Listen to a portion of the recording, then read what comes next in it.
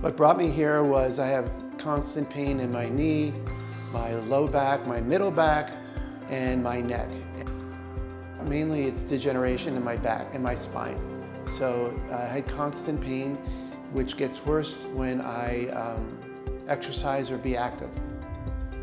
The back pain was inhibiting me from being active. So I researched a little bit and found out about BioXcellerator and um, you know, with the stem cells and hoping that um, since my back pain is coming from degeneration, that regeneration would help, uh, you know, have me a healthier back and become more uh, active.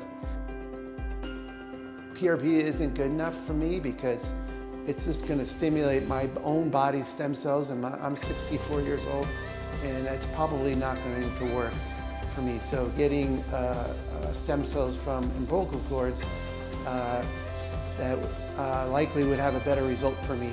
And again, they don't do that in the United States because it's not FDA approved, unfortunately. It should be, but it's not.